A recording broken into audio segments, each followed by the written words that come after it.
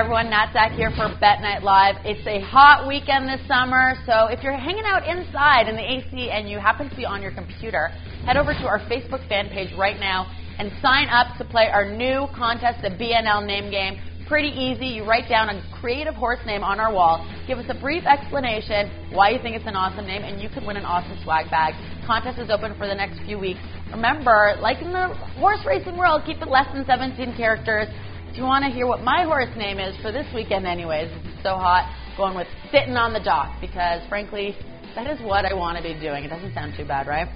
Monday night, we're going to be at Mohawk. I'm going to have 500 bucks to give away thanks to COSA. Come on down, come find me. But again, if you want to stay in and beat the heat, play the contest at home, no problem. I'm still making a pick. Going race number five, number two, Daniel Semalu. He's always coming in second, so I'm pretty sure he's due. Plus, I'm sticking with the name game theme. Daniel Semalu. It just rolls off the tongue. It's a fun one. Monday night, we'll see you on the score. Until then, we're all online.